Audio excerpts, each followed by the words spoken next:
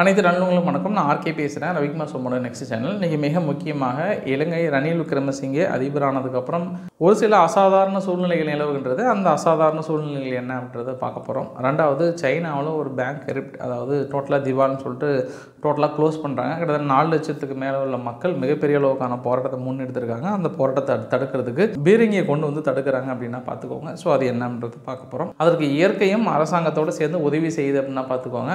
அடுத்து ரஷ்யா இராணுவத்தால் வெளியிடப்பட்ட வீடியோ பதிவுகள். இதெல்லாம் ஒதுங்கிணைந்த ஒரு வீடியோ பார்த்துடலாம். வீடியோக்குள்ள பார்த்த முன்னாடி நீங்கள் நம்ம சேனல் சப்ஸ்கிரைப் பண்ணலாம். சப்ஸ்கிரைப் பண்ணிட்டாங்க மறக்காம பெல் பட்டனை கிளிக் பண்ணி ஆல் ஆப்ஷன்ஸ் கொடுங்க வீடியோ கொடுப்பலாம்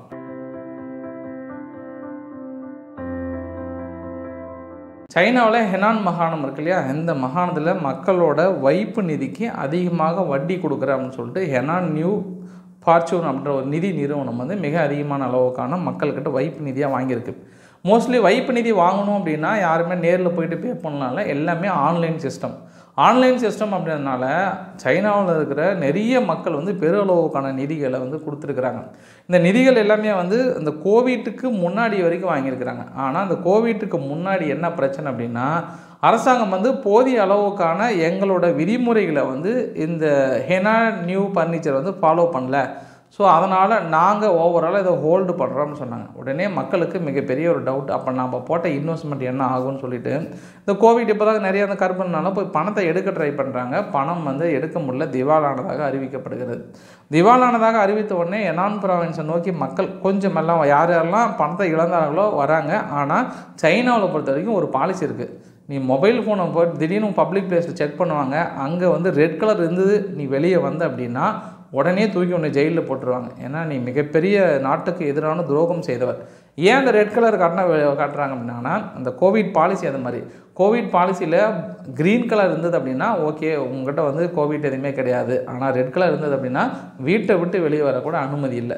ஸோ இதனால் போராட்டங்கள் வந்து பெரிய அளவுக்கு நடக்கலை. அது இல்லாமல் ஜீரோ கோவிட் பாலிசினால் மக்கள் அப்படியே கொஞ்சம் ஓல்ட் ஆகிட்டு இருந்தாங்க. ஆனால் திடீர்னு இப்போ என்ன பண்ணாங்க இதெல்லாம் கொஞ்சம் அப்படியே ரிலாக்ஸ் பண்ணிட்டாங்க. ரிலாக்ஸ் பண்ணதுனால ஒரே நாளில் பெருளவுக்கான கூடம் கூடிடுச்சு கிட்டத்தட்ட ஒரு ஒரு மூணு லட்சம் மக்களுக்கு மேலே ஒரே இடத்துல கூடினோடனே அந்த இடமே வந்து பயந்துட்டு இருக்கிறாங்க.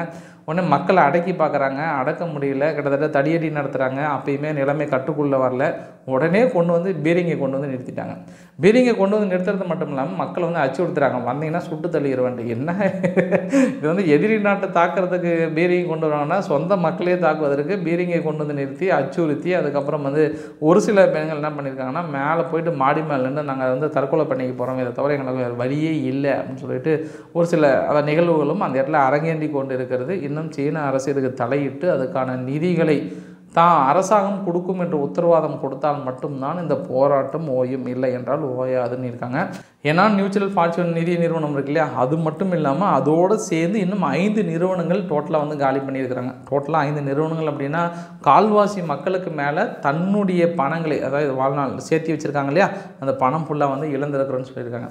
ஸோ இந்த போராட்டம் மிகப்பெரிய அளவுக்கு முன்னெடுக்கும் போது இயற்கை அவங்களுக்கு சாதகமாக அமைஞ்சிருக்கு. மிகப்பெரிய ஒரு புழுதி புயல் அதாவது ஹெனானுக்கு பக்கத்தில் இருக்கிற ப்ராவின்ஸில் மிகப்பெரிய ஒரு புழுதி புயல் எழுந்திருக்கு இந்த புழுதி புயல் எழுறது மட்டும் இல்லாமல் இந்த போராட்ட பக்கம்தான் வந்திருக்கு. ஸோ இந்த புழுதி புயல் நீங்களே இப்போ வீடியோவில் பார்த்துட்ருக்கீங்கல்ல இது பெருளவுக்கான தாக்கத்தை ஏற்படுத்தியிருக்கு. இந்த போராட்டத்தை வந்து பிசு பிசுக்க வச்சுருக்கு.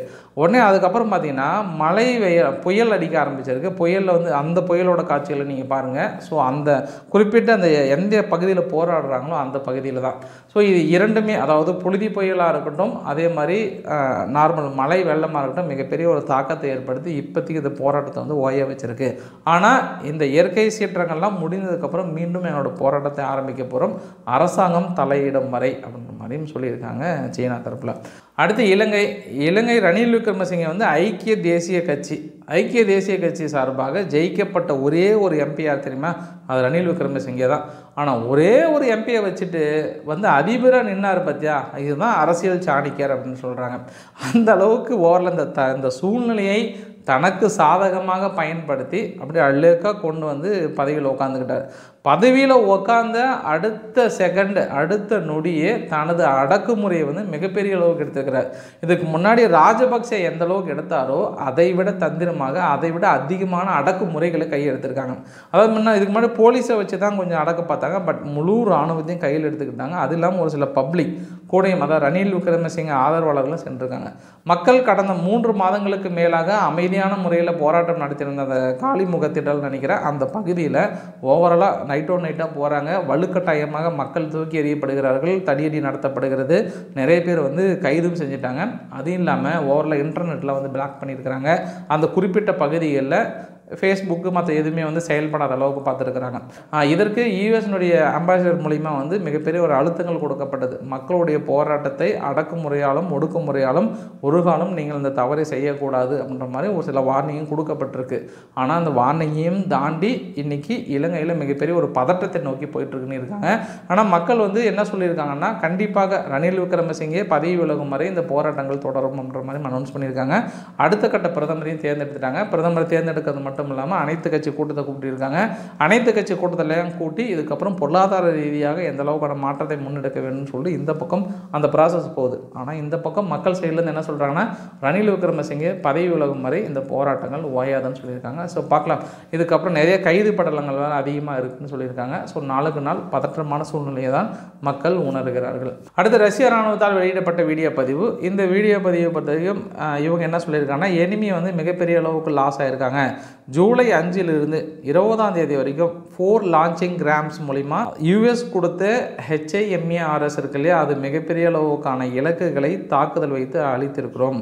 அதாவது one reloading vehicle from the US manufacturing வந்து மிகப்பெரிய அளவுக்கான தாக்குதல் வச்சுருக்கோம். அது இல்லாமல் டூ லான்ச்சிங் ரேம்ப் மூலிமா எந்த இடத்துல?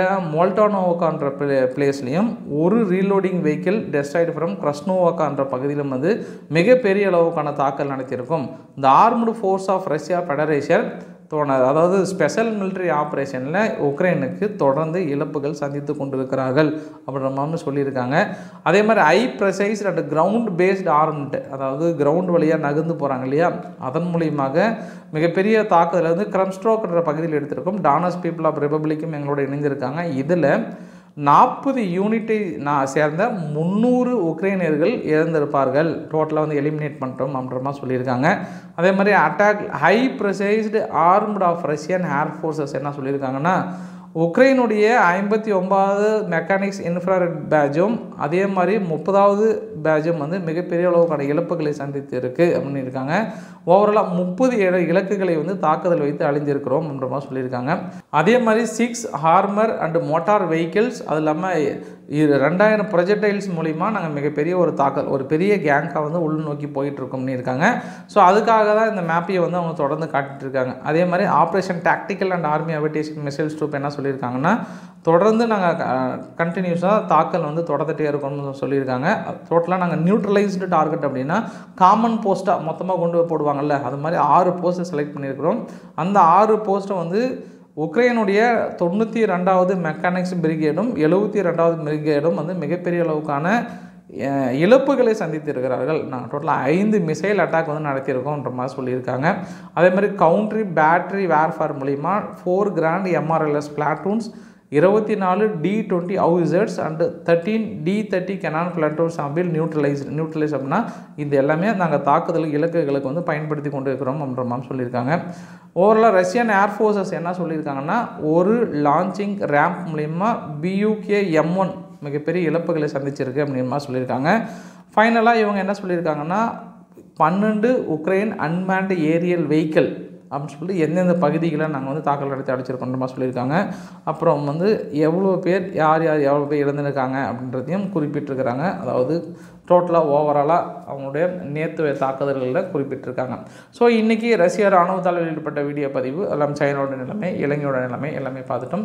ஃபைனலாக யூஎஸ் என்ன சொல்லியிருக்காங்க அப்படின்னாங்கன்னா ஒரு தினசரி அட்லீஸ்ட் மினிமம் வந்து நூறுலேருந்து இரநூறு பேர் ரஷ்யா தரப்பில் வந்து இழப்புகளை தொடர்ந்து சந்தித்து கொண்டு இருக்கிறார்கள் இன்னுமே ரஷ்யாவை பொறுத்த வரைக்கும் அவங்க இராணுவத்தை நம்புவதை விட தனியார் இராணுவத்தை மிக அதிகமான அளவுக்கு வேகனார் ரொம்ப அதிகமாக நம்புகிறாங்க அதே மாதிரி டானஸ் பீப்புள் ஆஃப் ரிப்பப்ளிக் அந்த ப்ரோ ரஷ்யன்ஸ் அந்த இடத்துல இருக்காங்களே அவங்கள தான் அதிகமாக நம்பிட்டு இருக்காங்க. இந்த சாதனைகளை பெருமளவுக்கு செய்தது வேகனார் மில்ட்ரியும் அதே மாதிரி அந்த டானஸ் பீப்புள் ஆர் ரிப்ளிக் அந்த பிரிவினைவாதிகள் இருக்காங்களே அவங்க தான் இதை கொண்டாட வேண்டிய தருணம் ரஷ்யா இல்லைன்ற மாதிரி யூகே இன்டெலிஜென்ட்டுக்கு டஃப்பு கொடுக்குறாங்க இப்போ யூகேனுடைய அஃபீஷியல்ஸ் ஸோ இன்றைக்கி ஆல்மோஸ்ட் ஓரளவுக்கான தகவலை கவர் பண்ணிட்டேன் பிடிச்சிருந்தா லைக் பண்ணுங்கள் ஃப்ரெண்ட்ஸுக்கு ஷேர் பண்ணுங்கள் சப்ஸ்கிரைப் பண்ணுங்கள் ரவிக்குமார் சேனல் நன்றி வணக்கம்.